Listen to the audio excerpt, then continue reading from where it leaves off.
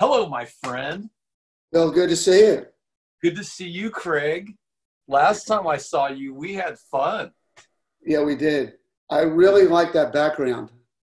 Do you? This is the mm-hmm. Bay Area. And if you look closely, it says middle of nowhere, and that's where I live. Where's that? Point to it. Right here. Right here. It says it says right next to my ear, it says haystack. Yeah. And then above that it says middle of nowhere. I see it. And that's my town. Is that Oakland?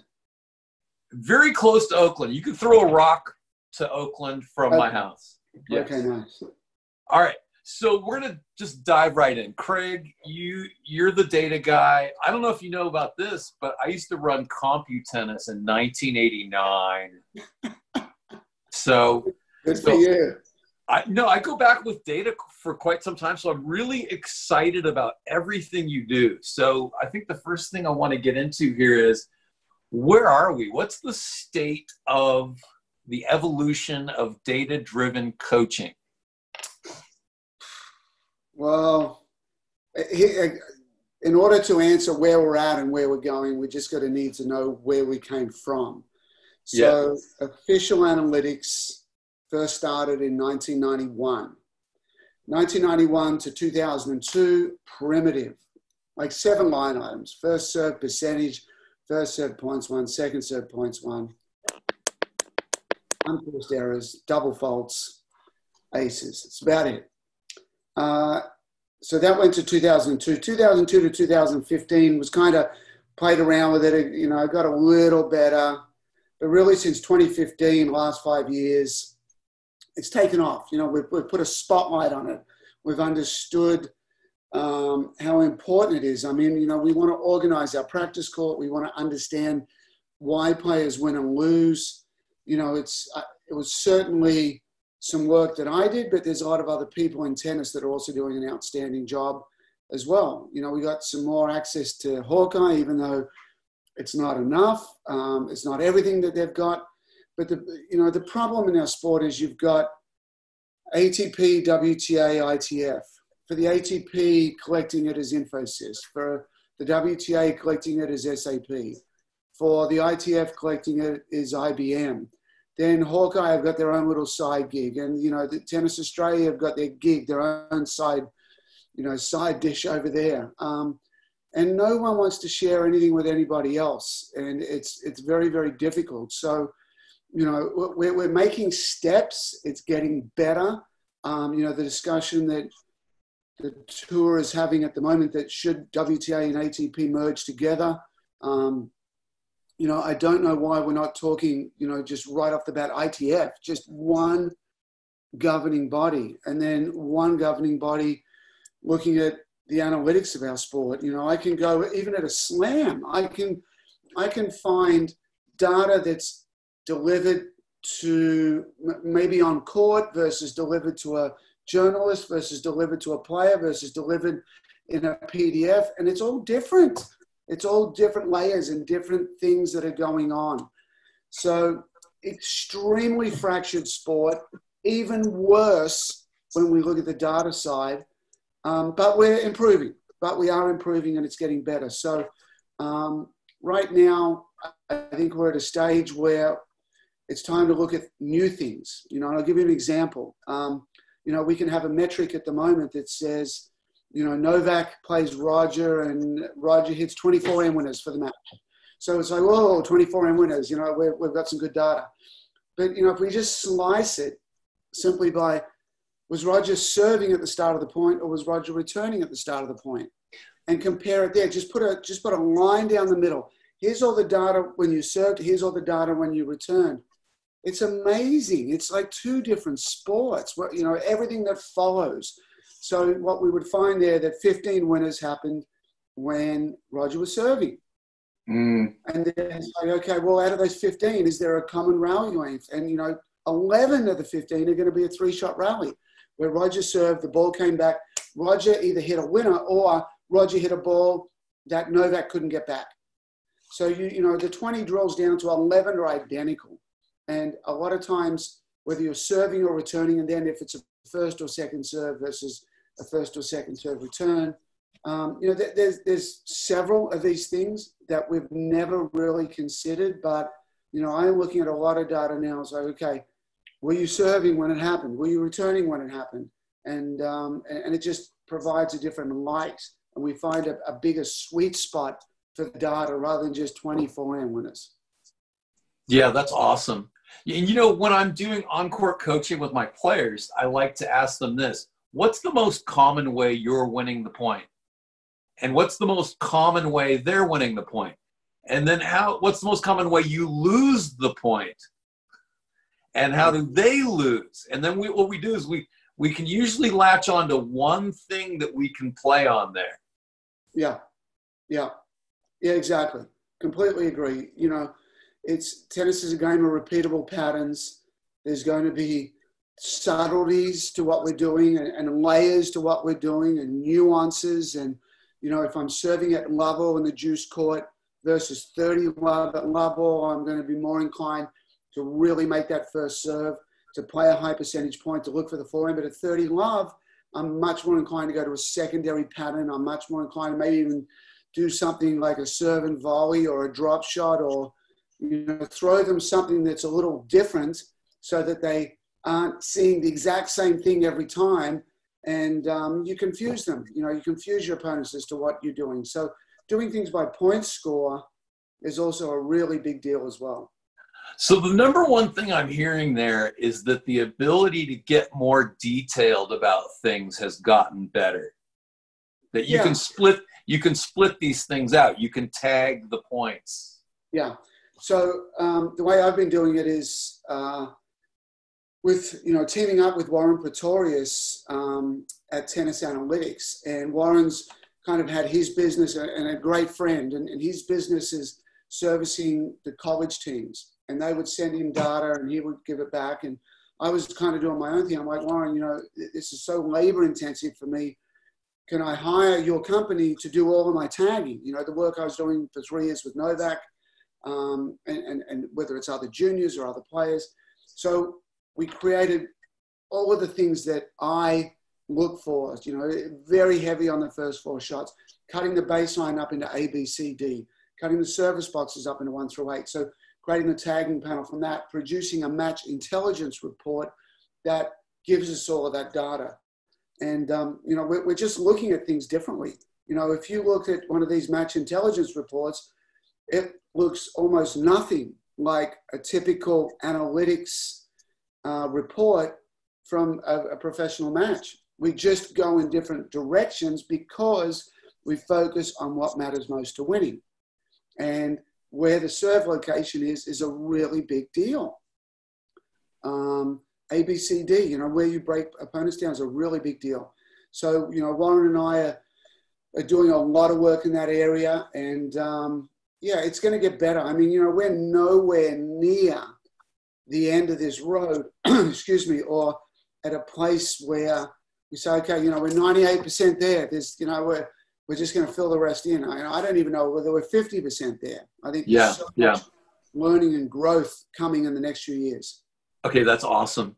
So a lot of people haven't had a chance to see you lately. Um, so why don't we get into this thing about errors, you know, and and you know, a little recap on why why unforced errors and forced errors are a I don't even know the word for it. What word would you put on that? An unmitigated five alarm fire. Structural collapse. Yeah. Yeah. The, yeah. you, and you, you know, you, you were at, wait, you, I have wait, I gotta throw one more thing in there and the firemen don't even want to go inside. No. No. No. All right. Okay. So, so here's the classic example. You were at PTR, right? You're in the room when I did the the 12 points. Yes. Okay, so let's just recap those uh, this this little project. So um, I'm going to speak at PTR. I'm talking about you know winners and errors and unforced errors and all, and all this stuff. So I pull up. I, I go and look at. I, I just pull up a match. I've got Nadal versus Millman, U.S. Open and I, I, I extract 12 points. And I have from that match, I have the official match report. And in that it says it was either it ended either as a winner, an unforced error, as a forced error. One of the three. So I, I play the point. I, I go to the presentation. We got you know I don't know a couple of hundred pros, tennis coaches. I mean tennis experts in the room, and I show them a point. I'm like, well, I've, I already know the official, so I don't show them this yet. But I'm like, you got to stand up. I had everybody stand up in the room, 200 people standing up, and then you've got to vote. Was this a forced error or was it an unforced error?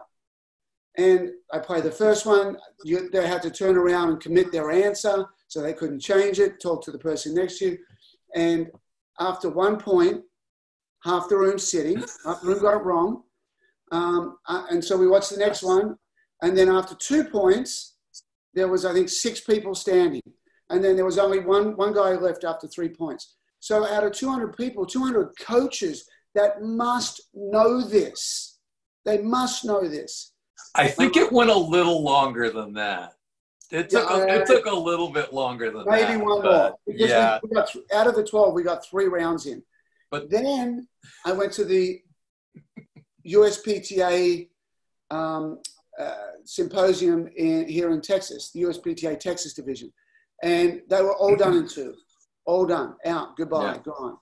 So we, we, had, I think, four rounds at PTR. Maybe we had five or six rounds. All right. Okay. Got it. Got it. And so the problem is the subjectivity of how to how to understand them, right? It's not only subjective for the fan. We, if anyone must know the answer to this, it's us. It's you, it's me, it's experts in this field, and we don't have a clue when we look at this, whether it was forced or unforced. We don't have an idea. So the real simple answer is it's a winner, it's an error. That's it. If it touches the racket, it's an error. If it doesn't touch the racket, it's a winner. Clean, simple, we can understand it. It's all good. It's all good. We do not benefit one iota from labeling something that we believe is an unforced error. Doesn't make my coaching better. When I work, again, when I work with Novak or Berrettini or Struff, Popyrin, I'm never talking to these guys about unforced errors, ever. It's ridiculous. Yeah. Okay. So, so, but when we're teaching tennis, we're, there's got to be some kind of dividing line between um, risk reward ratio. Okay, you go for a little bit more, and there's a little bit more of a chance of an error, so that's an acceptable error. And then yeah, well, and then there are then there are errors of execution errors of bad sh- shot selection errors of um, you know whatever. I mean something that's completely in the control of the person right? They ought okay. not to be making that error but let's say you and i go to the practice court yeah and i feed you the ball and you hit it to me and i hit it back you know we're trying we're doing our level best to keep that ball going. We're making errors all the time. I'm trying to hit it right where you like it. I hit, and I go, oh, I like that shot. And you dump it in the net. It happens. And then in a match, when I'm actually not trying to hit it in the zone and you make an error and you think you shouldn't miss it, you know, I make a move this way and you, you see it out of the corner of your eye. A ball, you know, the wind brings the ball in and spacing gets back. I don't, I don't anticipate this faster shot. Right. Errors happen for a hundred different reasons. There is no reason or point or value or benefit in creating a hundred different criteria of errors. They all happen. They happen. They happen. That's okay. it. okay. That's it. No. All right. But okay. No, I, I like your point. But I mean, okay, as as people go up levels, it becomes a game of how to win a few more points every match. Like like one of my one of my favorite okay. things was. But why not? One of my favorite. It's the same for beginners. Go ahead. What? It's the same. You know, I don't think you can make that statement and say as you get better, it's only the the elite players that will benefit for one or two more points. It's the same for the kids. Everybody, everybody. Yeah. No, I I think it was you who shared this thing about uh, Federer won 53% of his points one year and then the next year he won 54% of his points and then doubled his prize money and, yeah. and won three times as many tournaments yeah by yeah. winning 1% more points mm-hmm. yeah so okay let's so let's do this. Let's get into uh, best practices for noobs because because this whole thing can be overwhelming when you you know when you get the fire hose information from Craig and now you got to go home and you have to use it and all you have all you have is your little squirt gun. Where where should people start with their squirt gun to dispense the data or collect it or whatever? Um, are you specifically talking about what what they should focus on in matches or yeah like okay how, let's let's say how I'm they organize their practice court.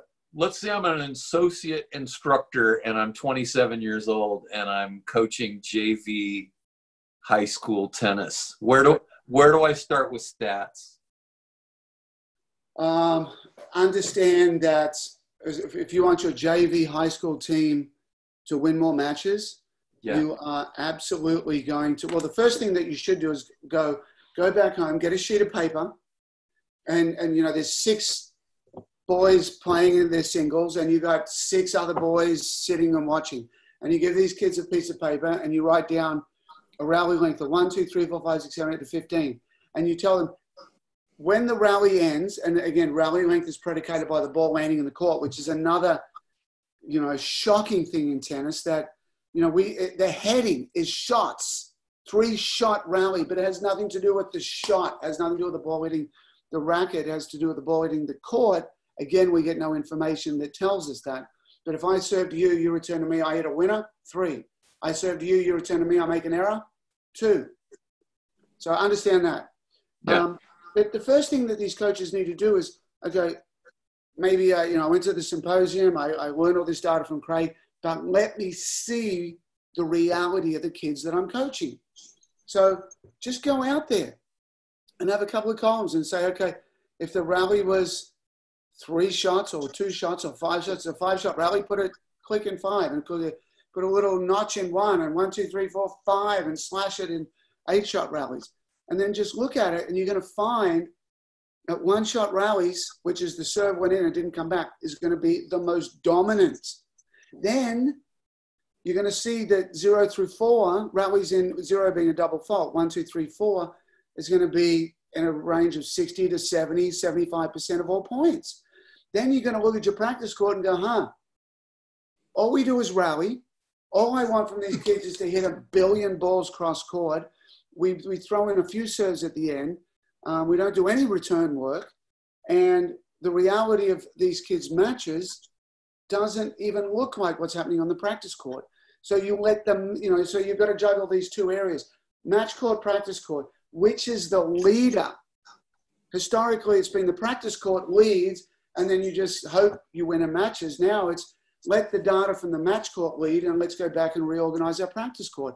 So yeah, well, but uh, conventional wisdom for a long time has been that the serve and the return are the most two important shots in tennis people know that, right? But the problem is they don't practice like that. Just like everybody knows um, the mental game so important, and then they spend one percent of their time teaching the mental game. It, the, the, the, here's the here's the dilemma that we have. Yeah. If you play tennis socially, you and I say, let's you know, let's let's go play, let's go play, let's go hit some balls.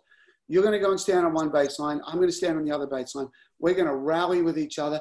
The baseline is the home of social tennis. It feels good. We're playing the sport. It's where we should be. I'll hit a few volleys. You hit a few volleys. You know, we'll, we'll you know we'll shank a couple up at the net. And then if we want to play points, hit a few serves returns. But socially, the baseline, the baseline's king because it doesn't really. Uh, uh, you're not playing points. You're not playing points. But when you go to play a point, it was when you go to play a competitive point in a match, the key is you don't start out of the hands. You don't start with rallying. You start with the serve and the return and the serve plus one and the return plus one. So you've got to make the distinction somewhere that says what we're doing on the practice court does are we just trying to have fun do we just want enjoyment, which is great, which is fine? There's nothing wrong with that. Or do we want to win matches? Do we want to win? Mm-hmm. Then you know, and another study I did is that you know the, the match winner wins the zero through four rally length over 90% of the time. The match winner wins nine plus about 55% of the time. Match winners win the short rallies. What happens for these players is the first two times they touch a ball matters way more than anything else. But the first two touches are not feeding out of the hand and then a rally ball and a rally ball and a rally ball. In a match, uh, yeah. a okay. serve yeah, yeah, yeah. I want to dig into that a little bit. Okay, I want to dig into that a little bit because this really applies, I think, to lots of players, but high school coaches and maybe even college coaches will benefit from this because the longer a point goes, the more of an emotional investment there goes into it, especially as the pain of lactic acid is starting to build up, you know, 20 shots in and whatnot. So, so then, you know, somebody loses this 20 shot rally and they just feel crushed because they gave so much, so much to it, right? Mm-hmm. And then, so maybe that happens to my player, right? And then what happens is the guy who's serving because he's still gassed double faults on the next point. And I go, yep, that one counts the same, right? Yeah. So the, the thing is that we can give or, or, players can, they can give too much importance to losing a 20 shot rally. Mm-hmm. You know, and, and, again, it's just perception. I can lose a 20 shot rally and, and, and just say, I just lost one point. It's okay. We're not going to play a lot of those. It's okay. And I can let it not affect my psyche. But at the same time, I can lose that 20 points, 20 shot rallies. Like, wow, they're more consistent. Wow, I've got to, you know, the pressure ramps up on me. It's the same, you know, you know, it, it's like when do you really feel confident you're going to win the match? And a lot of times it's if I can find a, a part of the court that I can attack this uh, my opponent repeatedly. Where's do I have a honey hole over there? Do I have something that I can just keep hammering away? And if I can find that, whether it's a forehand return, whether it's a longer rally, whether it's bringing them in, whether it's me approaching the net, any of those factors, if I've got that idea that I can, I, have got a go-to strategy. I know a well. I got a well, um, and if the well's long rallies, fine. Doesn't matter really where the well is, but just because you lost a long rally doesn't mean you're going to lose the match. Yeah. Well, I think um, mentally, if if you're mentally ready for the fact that you might lose a long rally and then and then the next point could be short and you win and it's all equal then you're sort of inoculated against being crushed by it. But if you're winning that lengthy rally and the other person's not inoculated against that, then you really have a chance to sort of crush them. Yeah. So, I mean, yeah. I've seen a lot of matches fall apart because somebody lost a long rally. Yeah, they they let it get into their head. If you yeah. just understand the metrics of a match, you know, it, it, I, I, mean, it would make sense if you say, let's say, oh, and you lost a 20 shot rally. And you go, wow, we're going to play a ton of 20 shot rallies. There's probably going to be 80% of this set is going to be 20 shot rallies. And I lost the first one. I, I, you know, I'm a little fearful for the rest of the set. Okay, I get that. But the 80% for the rest of the match is going to be one shot rallies, not 20 shot rallies. Right. Okay. So, so one thing I think is really interesting, I get in these conversations with college coaches and we talk about the data and then then you know there there's a little bit of a bias there and so then they collect their data and they come up with 55% of the points were in one to four and my thought is that college players are grinding from the serve forward that they're not thinking about you know a shot combination of my I'm going to hit my first serve here and try to hit another shot there and yeah. crack the point open. You know, they're they're they're hitting a kick serve into the center of the court and they're ready to hit top spin forehands. Yeah. Period. What do you think yeah, of that? I, I, like yeah, no, I like it. There's there's two parts to that. One is um, you're exactly right where it's get the serve in and just it, it's it's a one shot rally and then it's a 10 shot rally because it's just a serve in and now it's grind, grind, grind, grind, grind. You know, the five through eight is patterns. It's I go here, I go the two one pattern. I go C D A, deep to the backhand, wide to the backhand, wide to the forehand. So there could be less of that. That's one explanation. That's a possibility. Um, the other one is at 55%, it's still a massive number. It's not like you drop from 70, it's not like you drop from 70 to 40. I mean, you, that means you've got 45% for everything else, which will probably be 30% in, in 5 through 8 and 15% in 9 plus. So, yeah. you know, we don't normally see when, when, you, when you get drained from 70% to 55%, so it's 15 percentage points, they don't drain from 0 through 4 and insert, those, insert immediately down into 9 plus. The majority go into 5 through 8, and then what's left over goes into 9 plus. So, yeah. but the, the thing is, just ask the question: What's number one? And what it's still, it, it's still probably, you know, even at fifty-five percent, it still could be double. What's next? Double. I mean, I've seen Novak play matches where it's fifty-five percent. It's fine. It's okay. There's nothing wrong with playing only fifty-five percent of zero through four. In fact, a lot of times you say that's a good thing because we're reducing our errors in zero through four. Nothing mm. wrong with it. That's not a bad thing. It's not a bad thing. Yeah, I, but I yeah, it, it, it's only I, to me. It's only bad if you're playing mindlessly to get there. Yeah, because okay. you know, and uh, you know, because okay, like there was a. You remember the remember when Tip Tipsarevic took Federer to five, followed by Joker beating him in five. Okay. US okay. Open? I think it was the Open, and and the tactic was to hit 110 mile an hour 115 mile an hour flat serve out to the very corner of the backhand right to federer because then he'd be stretched way out and off the court yeah you know and then you've got a just a big juicy big wide open court on the other side right? So yeah. that tactic you know you know they both they both executed that very well. And that was that sort of exposed that. But that's that to me is one of the prototypical awesome things is you find a vulnerability of where you can serve to and put your opponent immediately in in a bad position yeah. and then you then your next shots you know you, you you'd have to be brain dead not to hit it deep to the opposite corner or even hit a short angle on the other side yeah i hear you. okay so now, here's an old stat, and I'm not sure how much this holds up, but you know, tell me what you think. Um, that 70% of errors go in the net. Don't know that. Okay.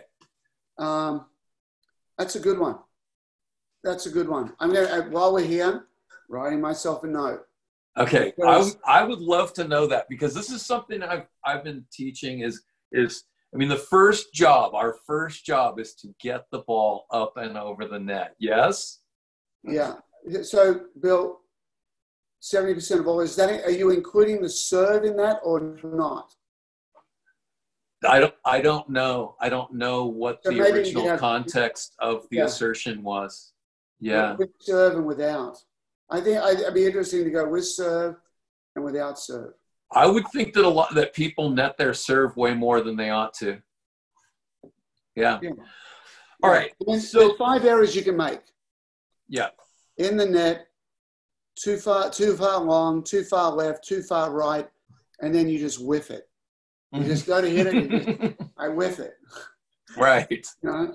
So beginners whiff a little bit. Um, yeah. We tend not with a lot, but it happens. But you know, you've got a rectangle of a court, so you know there's forward, back, left, right. That I do know the number one um, double fault, which is only second serves now.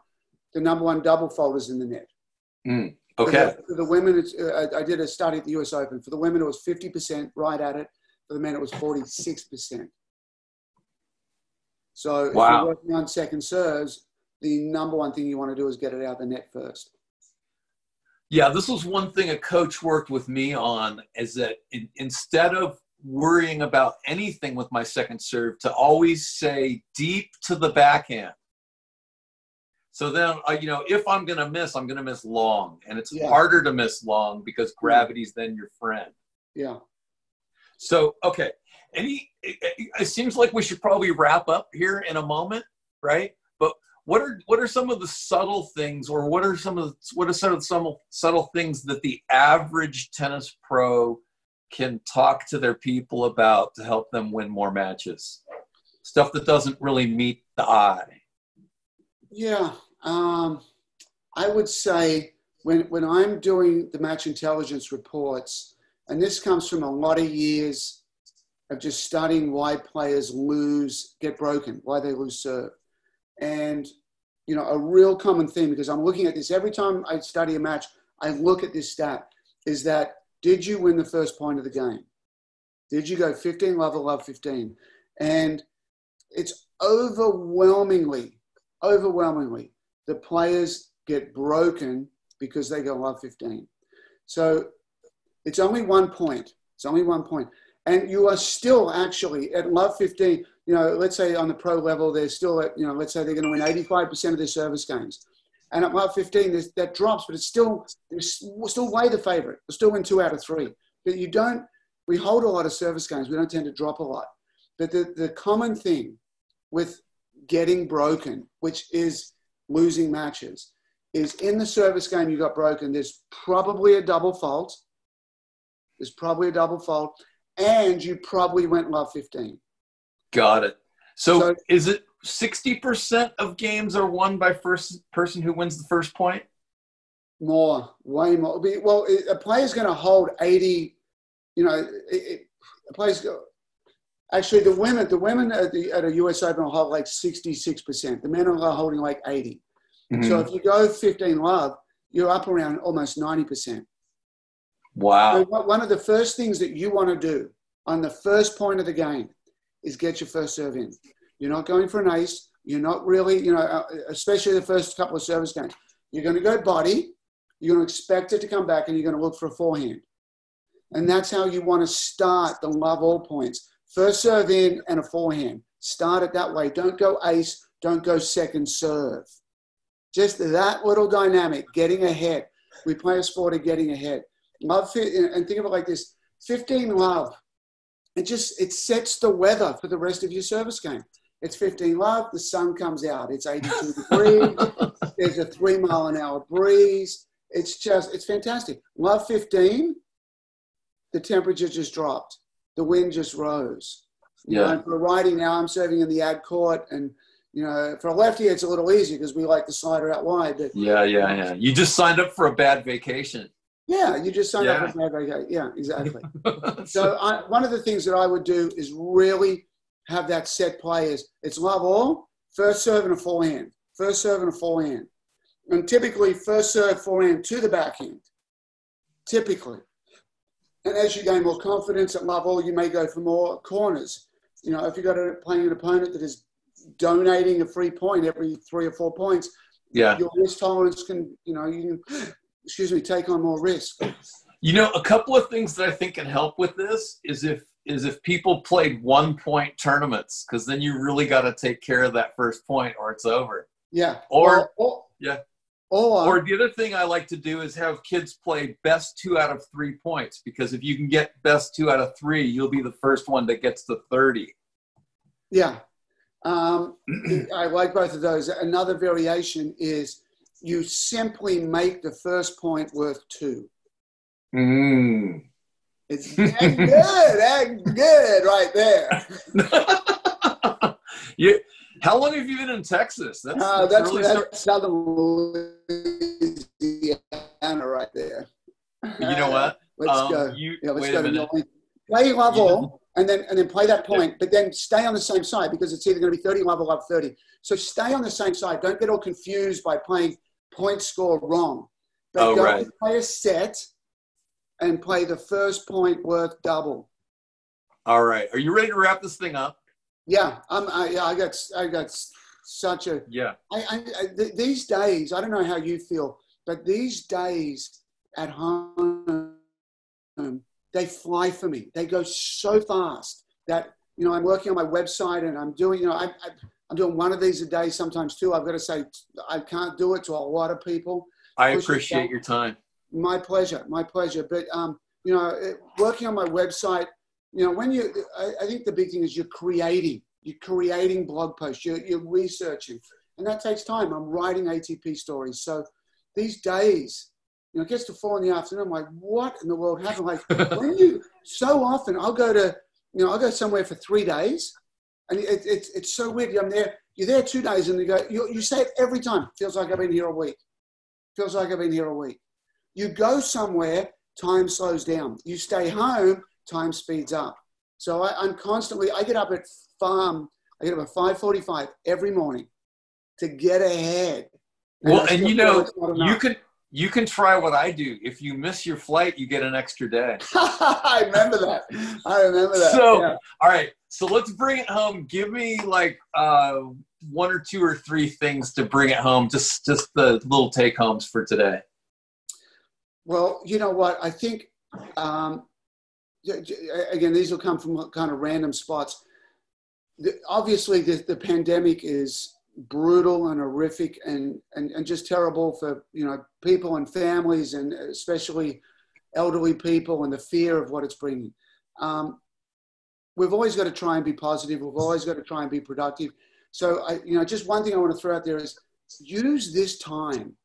You're never going to get something like this again, where you're home for weeks on end, maybe months on end, and be as productive and learn something, learn a new language, learn something new with tennis you know, do, do something that takes a month to do and, and be, you know, be productive. We put off stuff all the time. So look at the pandemic and say, you know, what, what, what's, what, what can I turn into a positive out of this? And for me, you know, I've, my website is something that I've done and I've taken care of, but now I'm all, you know, I'm uh, eight or 10 hours a day. I'm on it and and putting stuff out there and going through it and improving it. And, and it's, it's going great. I launched a new course with Jeff Greenwald called Getting Tight, all about the linking the mental and emotional. So, you know, it's really helped. I mean, you can, you can kind of surrender to this time, but, you know, I would say take control, be the boss and, and learn something new and come out of it with a brand new skill, with a brand new skill. There's awesome. One. Should we stop there or you got two more? we want to win more tennis matches. So um, yes. here's, here's the next one is think okay. of this. The first two times you touch a ball matter more than anything else that happens later in the rally. The first two touches matter more. Put more emphasis on your first, take more care. You know, people say the first four shots and first strike. You're trying to survive the first four shots. You're trying to make sure that the first serve return goes in. You're trying to make sure that serve plus one ball after a second serve that's at your feet goes in. So that's the, uh, the second thing. And lastly, get to the net. Work on your net game. Work on approach and volley. Work on your volley technique. You know, the net's an amazing place to be. Don't just go out there and, and, and um, you know, just rally and hit balls to the back of the court. So um, you know, I, I, was doing a Zoom call yesterday with a, with a student. We went through the one of my courses called Short Ball Hunter, and you know, I hadn't been in it for a few months, and I'm like, man, there's so much good stuff in here that just it gives you, you know, the, all, all the facts, all the evidence that the net's a great place to be. Okay, awesome. Tell us how people can get connected to you and your website. BrainGameTennis.com. There are 10 courses. There's singles, there's doubles, and there's the mental side.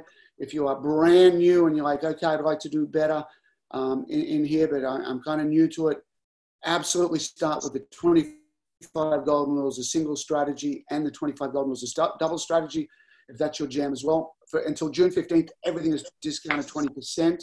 Um, if you're more, um, you, you, know, more serious and you, are deeper into tennis, you know, the first four shots has a lot of the data we've talked about. Game plan has junior to pro metrics, and the mental side, you know, definitely is the new course getting tight. So, braingametennis.com, that is where you can get all of that information.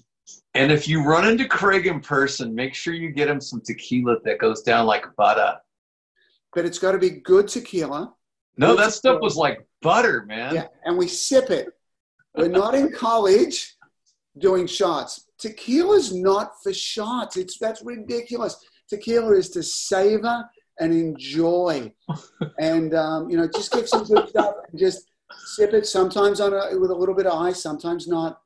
Um, make sure you're over 21 and, and sip it.